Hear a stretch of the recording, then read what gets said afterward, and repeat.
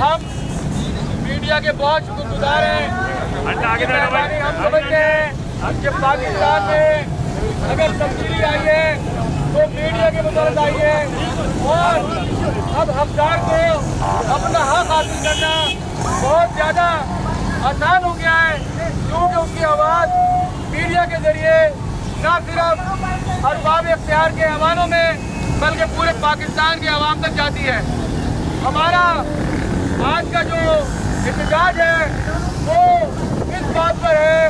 हम मीडिया के ज़रिए वज़ीर आज़म सदर पाकिस्तान और वज़ीर खजाना को ये बताना चाहते हैं कि जनाब अली, हमारा स्टाफ वेलफेयर फंड है, जो सिर्फ़ स्टाफ के लिए है, उसको सदर अली रजा और उसके टोले ने तकरीबन साठ करोड़ रुपए उस पर से गबन कर लिए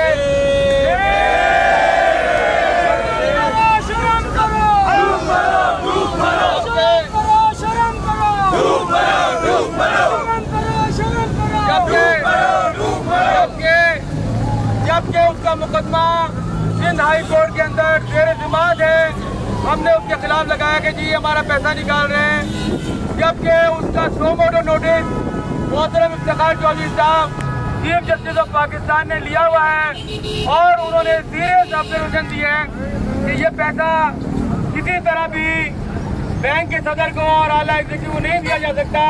उसके बावजूद, सुप्रीम कोर्ट के अहकाम के बावजूद अदालत आलिया के हुकूमत के बावजूद बावजूद दोस्तों फिर एक बार अली रजा और उसके टोले ने करोड़ों रुपए आपके फंड से निकाल लिए।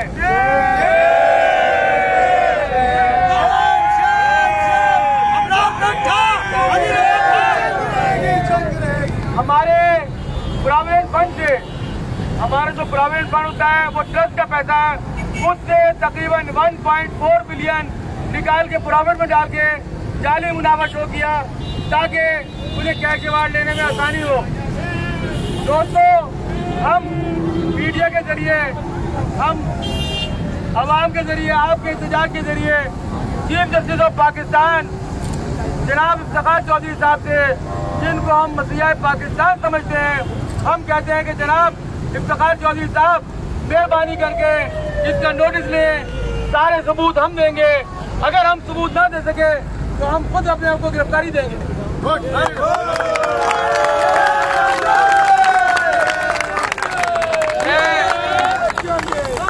एक बार फिर आप तमाम का बहुत शुक्रिया अदा करता हूँ।